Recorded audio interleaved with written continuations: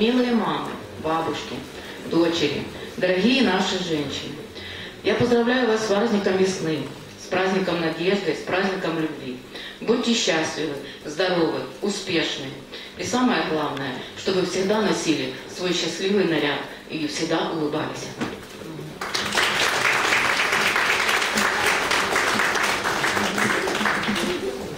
Итак, начинаем церемонию поздравления.